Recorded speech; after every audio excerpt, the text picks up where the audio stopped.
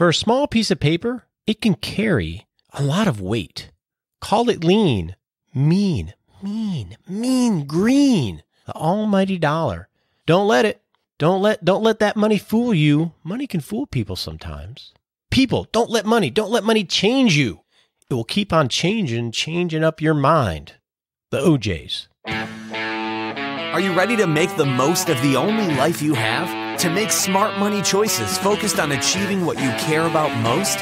Here to help you balance living well today without sacrificing your tomorrow is the retirement answer man, Roger Whitney.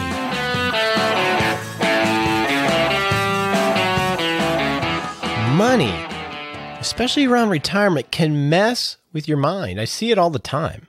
A lot of times when someone's engaging me, it's about the money.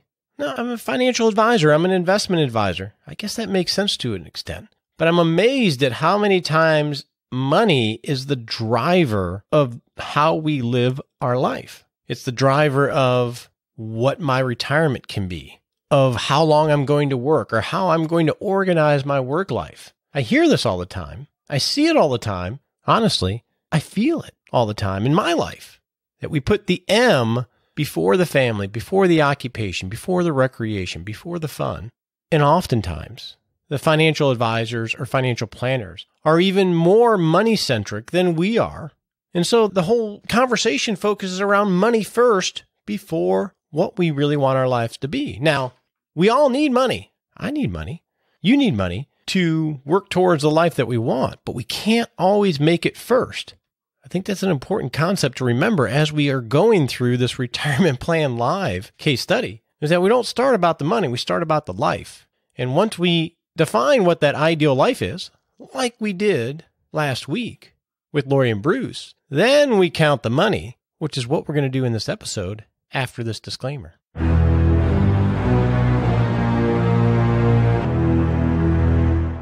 Yep, time for that all important disclaimer.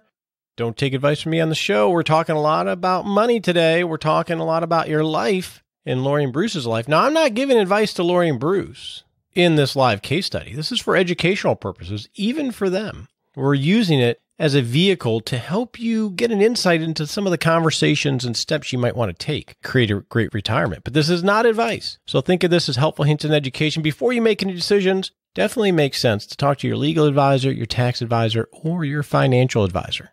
Now, let's go talk about this money thing and count the cost.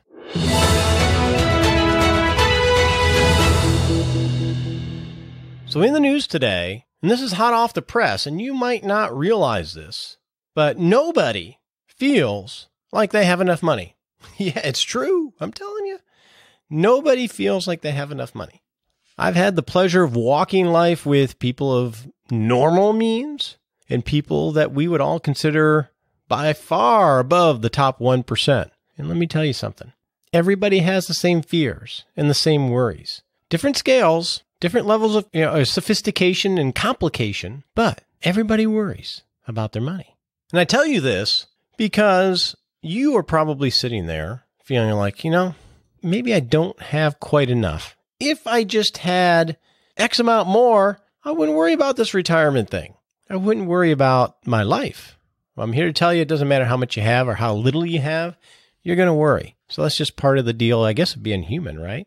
So last week we talked about dreaming up an ideal retirement, and we started with the four the family, the occupation, what are you going to do with your life, and the recreation, what kind of fun are you going to have in your life? And those are where you should start when you're thinking about this next phase of life, retirement, a time of more freedom, whatever you want to call it. That's always the best place to start because that is truly about you and what kind of life you want. The four. Now, if we expand that by one letter to form, the M being money, once you know what you want for your family, once you know what you want for your occupation, what's going to get you out of bed in the morning, even in retirement, and once you know what you want for your recreation, your fun and adventure in life, once you have that defined, like we did last week, and hopefully you planned along with Lori and Bruce, now we need to focus on the money. What money and resources do we have to try to work towards that life? And the key here is we don't start with the M. Form has the M at the end for a reason. Now, usually the money part is why people go to advisors, and that's okay. But to figure out what to do with the money, we need to know what you want in your life.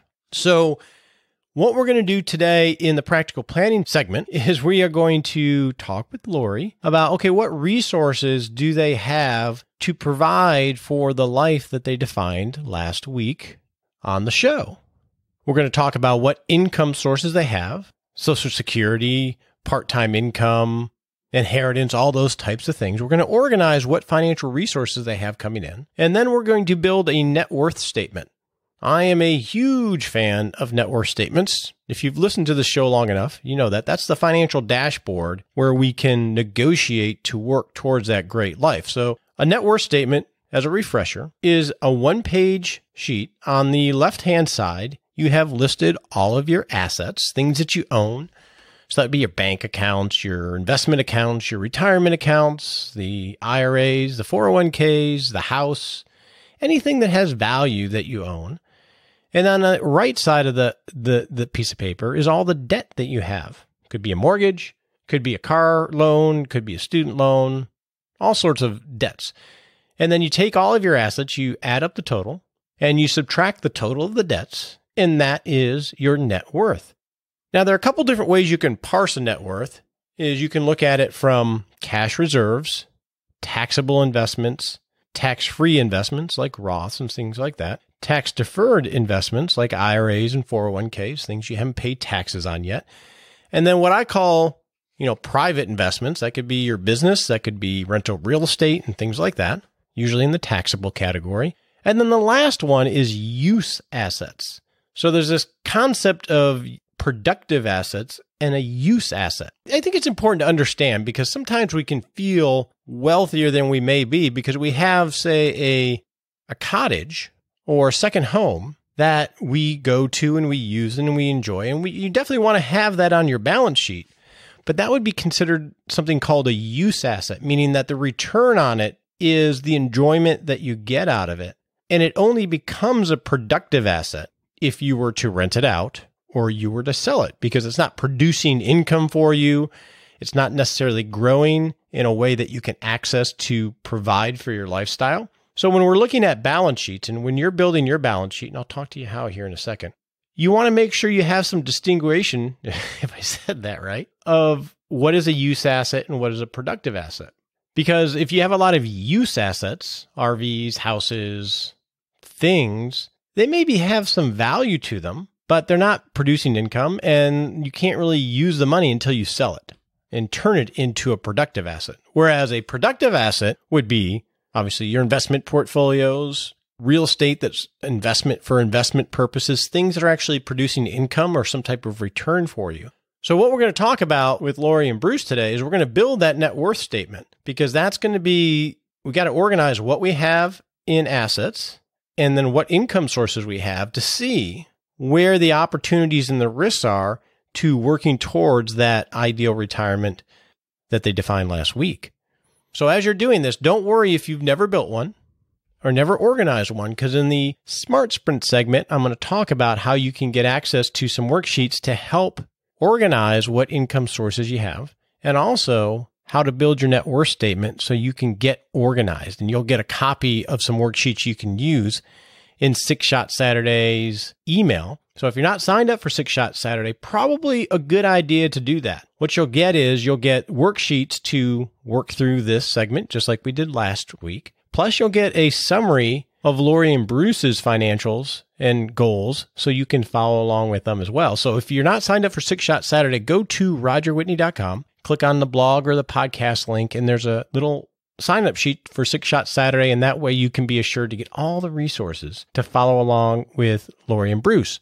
With that said, let's go see what they have to work towards this retirement they thought of in the practical planning segment.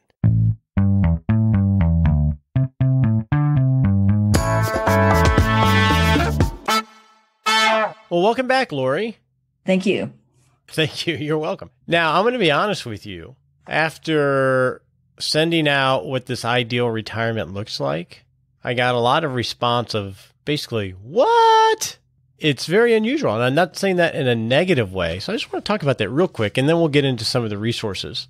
And I think a lot of it is, I mean, you had mentioned, I think to me privately, that you guys have already downsized your house and really, I guess, in your estimation, right sized your life for what retirement's going to look like. What was some of the thinking behind that? Well, what we did, we had a about a 4,000 square foot house with a pool, which we loved. And well, I loved it. Bruce didn't really care for the pool, but I took care of the pool and we had kids over, you know, with my daughter and all of that.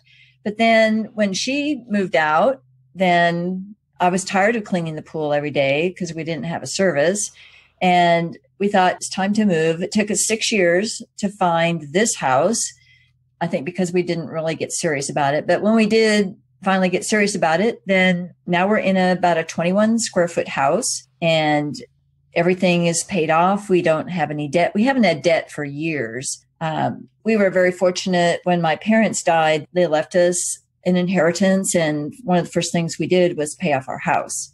And then the rest of it we just saved. And so we've just had a lifestyle where we pay for things as we go our cars, our house, whatever. And now we're in our final, hopefully, house, and we're very happy here. When we moved in, it was our house sold quicker than we thought. So we moved in in the demo phase and we lived in rubble for about six months. But everybody said, Oh, you shouldn't live there. You shouldn't live there while you're doing all that construction. But we didn't really want to get an apartment. We have a dog and I didn't want to mess with all that. So yeah. we just lived in rubble for about six months. So let, let me ask you when you were in the 4,000 square foot house, it's a big house.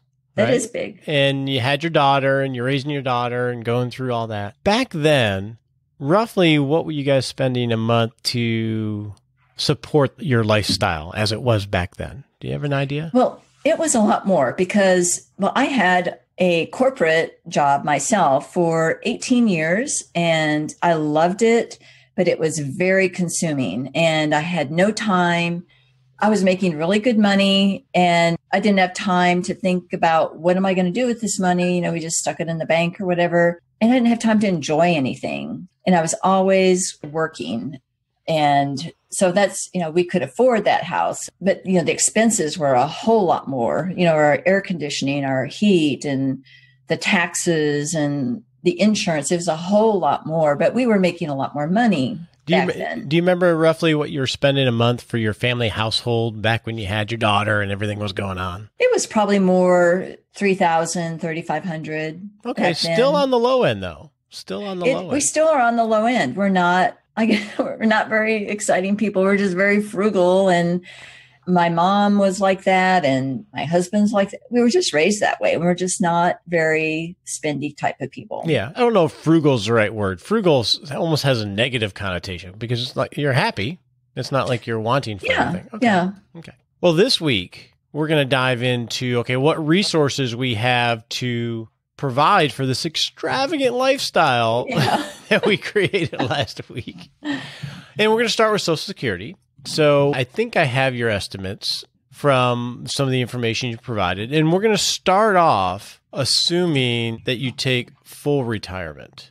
Meaning, you know, for you would be at age 66. And the number I have is about 20,400 at age 66. Is that the inaccurate estimate or looks like you're looking up something I can see you? Yeah. Me, um, I have it all down here.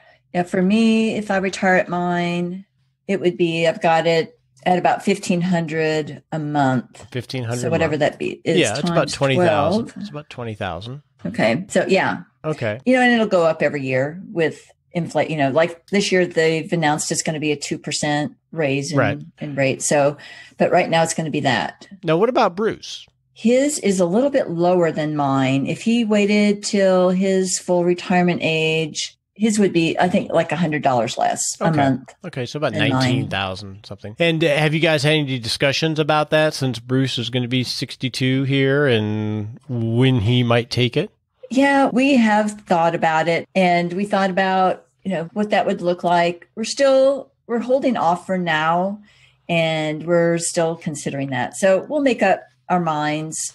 I mean, there's not a big hurry. Even when January comes, we've got enough cash that we can cover our expenses. So we'd rather do it right the first time than have to back out. Yeah. Okay. And so this is timely for us then. We'll talk about Social Security maximization on the results webinar and look at all the different strategies for the two of you. But then in our private work together as a thank you, we can definitely dial that in to help you make a good decision that fits for you. So that's going to be the first line of defense to provide for the lifestyle that you want, right? Right. And bluntly, that's a, you know, given the lifestyle that you guys are really happy with, that goes almost 90% of the way there, doesn't it? It does. When I add up, and that's why I think I'm not too worried about it right now because looking at our combined monthly, that's more than what we spend. So our Social Security will more than pay for our current lifestyle. And not many people can probably say that. Yeah, no doubt. Many people feel like they're struggling to make ends meet just on Social Security. Right. So now we don't have factored in any kind of other income. So how long now you work as a virtual assistant for businesses Right. and you make about 24,000 a year doing that. hmm How long do you think you're going to do that? Till my FRA, full retirement age, which will be, you know, 66 in two months Okay, so the or four months, maybe. so the plan Uh, there is to do what you're doing till Medicare basically. Yeah. Okay. What about Bruce? As far as working, is he going to you think he'll make money when he retires? Well, I think so. I think he'll find something, even if it's just being a freelance handyman kind of person. I think he would like doing that. He really enjoys helping people. So I can see him doing that. I mean, he, already does it for people from church. I mean, he's glad to go do that. I don't know what I'm going to do when my father-in-law passes. No, I'm going to need Bruce to move down here next to me. Yeah. I need a he can fix anything. I mean, I'm handy, but I don't have the know-how. I have the, you know, willing to do it, the work, but I Mhm. don't have like having done it a million times mechanically, right? So you guys will have to move to the Dallas Fort Worth area when my Yeah, sure. passes. You know, it's kind of a bigger cost of living. I don't know about that. Yeah. but do you think that he'll should we I guess my question is should we factor in some income for him or you think it's better not to? I think it's better to do it because I think he'll do something. Okay. It may not be, it may take him, you know, four to six months, but he'll do something. Okay, well let's factor that in then. Let's say that it doesn't happen until 2019 because he's going to have a honeymoon period. He's got to get all the water barrels. You said that he'll probably wait a little bit when after he retires. So how much do you think a year should we factor in that he'll earn? I would think maybe 15,000. 15,000. Okay. I don't think he'll do anything really big, but I could be wrong, Okay. But 15 to 20,000, Okay. And then how many years do you think he'll do that? probably not more than five. Okay. So we'll put 4. Okay. and then we'll have it increased by inflation. Now, we just sort of make some of these assumptions. It may seem flippantly, but it's really not because we could spend two hours really trying to nail down what Bruce is going to earn. Mhm. But the honest thing is, we have no clue. And I don't think he has a clue because he doesn't know what he's going to do yet. Right. So, really, what we're doing is we want to have a placeholder for it that's reasonable. And then as your life unfolds, you just keep tweaking what that number is as you, you know, you gain more visibility every step you take going forward. Right. Okay. So we have some good resources. We pretty much have a done deal right here, likely, of between Social Security and your work and then his work. We definitely have the early part of retirement pretty much taken care of. Now, you know, so really it's okay, longevity. I think really what we'll have to dial in, and this will be on the results webinar, is what happens if life throws us a curveball, Right. right, in some way. So we have the income sources. Are there any other things that we missed there? Not unless we're going to talk about investment income or is that later on? Yeah, that will be later on. That gets factored in when we talk about your productive assets. So let's just review together the assets that you guys have accumulated. So I have Okay. a 401k for Bruce of about 16,500 hmm and we're not contributing anything there. Yeah, not Yeah, because he's at the end of the year. He'll be he'll be done with that. Yeah. And then you have cash reserves of $110,000. Right. Okay, which is pretty ample, especially for I'm assuming that's gearing up because of coming retirement. That's what you're going to live on. Well, it's actually because we haven't done anything with it. I was kind of wanting to use that money to get a rental house, but Bruce doesn't want any part of being a landlord. So the money just kind of stayed there in that account. And now we know we're not going to do that. So we're going to, you know, decide what to do with it invest it. But Okay. right now it's, it's just cash. Okay, so part of the decision is okay, how much eventually do you keep as cash reserves and then how do you best allocate the rest of that money? Right. Okay. Now in the rental house, let's stop there for a quick second. Is the idea of having to deal with the people and Right. Okay. Yeah. Now have you looked at, you know, there are management companies that will do that for you. Right. Yeah, Uh, there are. And they think usually Yeah. charge 10 to 15% to do that. But he didn't, since he wasn't really excited about it, and he would be the one to do all the repairs. It didn't seem really fair for him to force him into to Good. doing that. Okay, good point. Good point. So we have the cash count of 110,000 that we have to figure out, or you guys have to figure out what to do with. hmm And then you have your an HSA of about $7800 hmm and then a joint investment account of 72,000 Right. and then two smaller Roth IRAs. You have a Roth of 5500 and Bruce has a Roth of 1500. Right. And then the last thing we have on the investment assets is your traditional IRA of 310,000.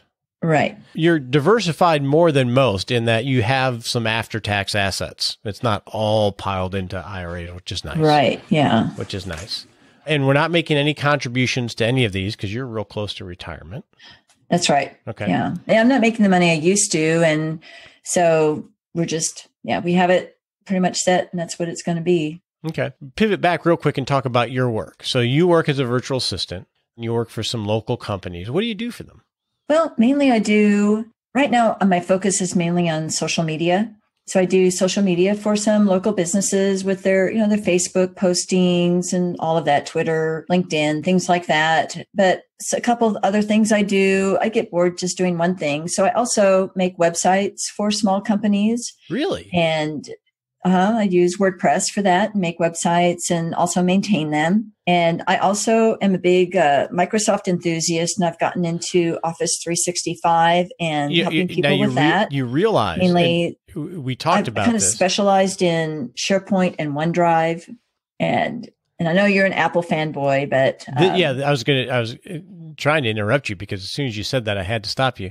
'Cause Yeah. This really was a pressure point, and I had to do some soul searching as to whether this was going to work with us because you're such a Microsoft zealot. And and I've heard you talk about your Yeah. Apple your Apple fetishes. So yeah, so I wasn't sure about it either. you think I'm in a cult, probably because yeah, that's what Apple people are. Um, so, are have you always had a tech background?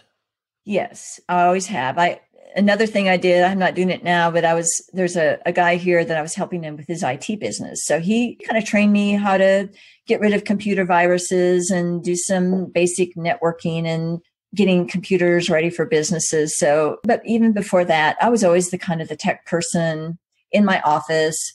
And I always thought, oh, I wish I had time to learn how to do this and that. And now I do. And I've learned not a whole, not enough, but I know more than the basic person about how to fix a computer and all of that. But it wasn't your career when you were full time corporate. No, when I was in corporate, I was an administrative assistant, Okay. but I was still the tech person. You know, there's always a tech person in your office, and not, and I was it. Okay. And then, so you're already in pre retirement, really? I am, yeah. totally. How did you find your clients as a well, virtual assistant? when I when I was in my corporate job, I got laid off, and so they I got a really good buyout package, which was very nice. And I took a class on how to become a virtual assistant. It's not the skills you have; you have to have those, but it's how to structure your business, your boundaries, and your standards, and who you're going to work with, and things like that. So. I just I went through that course and you know I started blogging years ago just on different tech aspects and I also as a, a graduate of this course I also got access to you know, people who were looking for people and so I could look at you know who's looking for someone and then say you know I'd like to talk to you about it so I've got some clients that way and I started with clients around the country. And that was fun because my corporate work, I work with people all around the country too. And, but then I found that I really kind of missed seeing people and working with, you know, getting to really know some people locally. And some of my clients I did get to know, I did get to meet them, but then I kind of decided I think I'd rather work for local people. And that's when I started uh, doing some IT work with this guy. He was actually one of my clients, and then he needed help with his business. So he kind of trained me to help him with computers and, you know, fixing them and things like that. And then social media came about because it wasn't really around 10 years ago when I started. There wasn't everything that there is now. So I learned about social media and saw that people really needed that. And I got referrals. Okay. And that's kind of how I got my clients. Where did you take the class? It was called Admin U. And how did I find that? It must have been on the internet. I was searching for what, what I wanted to do and I wasn't really wanting to plunge into another corporate type thing. And the settlement I got or whatever was really is very generous. And I had some time to take off. In fact, we took a trip. We took a two week trip to Canada and just had a really good time when I didn't have to work anymore. And I still remember the day after I, I didn't have my job and I was working from home. I still went to my office at eight o'clock in the morning and sat there, even though the phone was turned off I thought it was just so weird. Okay. Now that was kind of like a retirement moment. You know, you get up that day, and for people who really go to the office, that would be a big change. But, Yeah. And for me, that was a big change. And but then I decided to go this other way. And even though I'd never thought I would be self employed, and I could make more money if I really worked at it more, but I'm happy. I'm happy with my freedom. Yeah. So I like that. You know, it's interesting that you were working with people all over the country and then you missed the connection. The, you But I got to see those people. yeah. we would have meetings. So I did know them in real life, but your clients that you have that you just meet over the phone. And, you know, I had some in Boston and out east and, you know, here and there. And I just kind of missed the personal connection. Yeah, with I get it. that. And I love this about the two of you is because you are this virtual assistant, you know, mature lady who gets the internet and is, you know, taught herself tech savvy, right? To Mhm. some degree. Right. And then on the other end, you have your husband who's about to start pre-retirement after his little honeymoon period. That's going to be your traditional handyman that is tech savvy, but more in, you know, the hard stuff. Right. And each one can work, which I think is That's right. of He says, I'm, I'm hardware and you're software. and even when I would bring computers home, I said, I don't know how to open this up. Will you open this up? And I need to get the hard drive out, but I don't know how to open this stupid case up. And he would figure it out. So he always says, You're software and I'm hardware. Hey, I like that. I like that. Bruce is a smart guy. So to sum this up, we have investment assets of about five hundred and twenty-three thousand dollars, Right. and then you have your house, which is paid Mhm. for, worth about two hundred and fifteen thousand dollars. Are there any other assets that we've left out? No, that's Okay. about it. Now, are there just to wrap this up? Are there any inheritances that you might be receiving? You said that you had prior, but are there any in the future that you might want to Oh, there could be on his side of the family, but some really odd things would have to take place Okay. for that to happen. So probably not. Okay, best not to factor that in. Yeah. are there any people that you might have to support, whether that's parents or No, mine have already passed on, and his are all taken care of. And they're in an assisted living, and their expenses are being handled. So we shouldn't have to. There shouldn't be any expenses there. okay. Well, now we have the financial resources to figure out whether we can fund this ideal retirement. In our next conversation, what we're going to do is we're going to just talk about some risks. We're going to talk about investment risk, long-term care risk, all the risks that are out there, and just try to quantify them, identify them, and quantify them so we can figure out how you might whether we need to deal with them or not. Okay, Sound good? great. Thanks.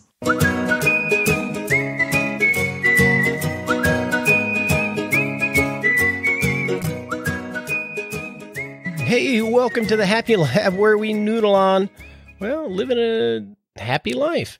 So, one of the things that makes me very happy that I'm glad that I do, I'm glad I actually feel in a position where I can do that, is giving to people in a special way that hopefully speaks to them in where they're at right now. So, I'll give you two examples that just happened here recently. So, I was on the phone with a client and she's going through some turmoil just life turmoil, right? And something like we all do.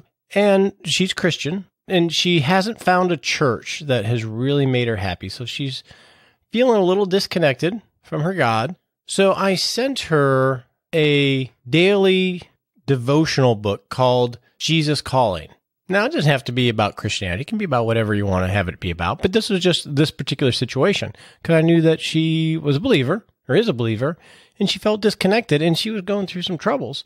And I sent her this because it's been a book that I read every morning and it's really helped me in my journey and to stay centered when I start my day. And it felt so good to be able to send that to her, seeing and hearing from her that she's struggling a little bit right now. And I'm never going to follow up on whether she got it or not, but it just feels good to be able to reach out when you hear somebody in a specific way need something, right? Now, I'll give you another example. Nicole, awesome sidekick Nicole, who's on the show, she hasn't been on recently, but she's coming back when we get back to questions and answers. She's married and she has a husband who has a job and it's stressful. And they have two young boys, you know, four and six. Is that right, Nicole? She'll, she'll tell me.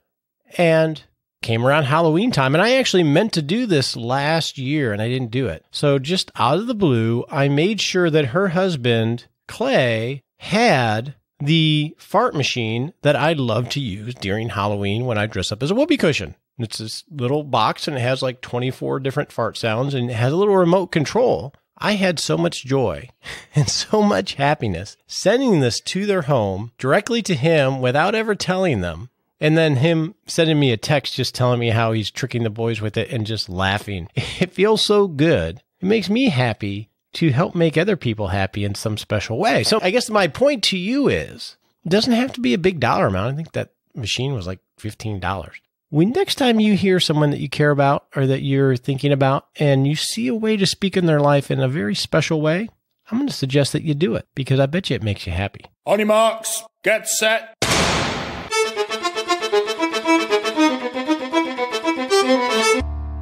And we're off on the smart sprint, and you're going to guess what it is because we're in the middle of retirement plan live. In the next seven days, if you haven't already, create a net worth statement, and you're going to get an email with two resources one from the retirement workbook and a worksheet on how to build a net worth statement that we have in the learning library. Grab those, and if you've never created a net worth statement, create one.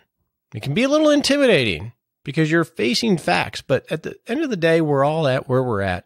Can't worry about the past. We just have to figure out how to be proactive about the future. So build a net worth statement. And then number two, maybe on the back of that net worth statement or on a little separate spreadsheet, put in the income sources you think you're going to have during retirement. That could include Social Security, could include pension, could include inheritance, rental income, part time work. So you have an idea of, okay, this is what I'm going to be receiving and just make a rough guesstimate on this. Oh, yeah. And on the net worth statement, don't worry about getting it down to the penny. Start with just having a good estimate of what the values are so you don't get bogged down. You can dial that in later. The important thing is to take this initial step to organizing your resources so you can make sure it's focused on creating the life that you want. So that's your charge. If you want those worksheets, you'll need Six Shots Saturday or go to the Learning Center and get that done in the next seven days.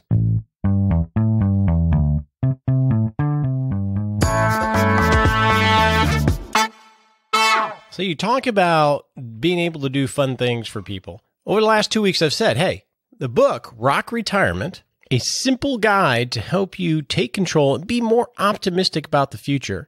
That's my book that is coming out March of 2018. So it's still a ways away, but I'm really excited about it. And I have a ton of copies in my house that I had delivered from the publisher. Even though the paperback doesn't come out until March, the Kindle version is available today. I'm not sure why that happened. The publisher hasn't explained that to me yet. But the deal is if you buy the Kindle version, read it, and give an honest review in Amazon on the Kindle page, and send me a screenshot of the review that you gave as a verified purchaser, I will send you a special signed pre release edition because it's not coming out till March of the book absolutely free, including shipping and everything.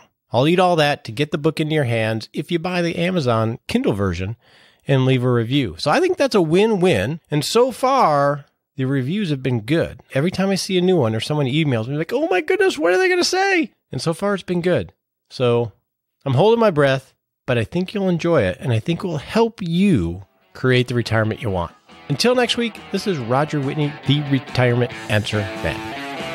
We appreciate you joining us today for this episode of Retirement Answer Man. Be sure to visit rogerwhitney.com slash answers to access the Retirement Answer Library with over 30 checklists to help you make the most of the only life you have. Remember, you have more power than you realize to create an amazing life starting today with Retirement Answer Man.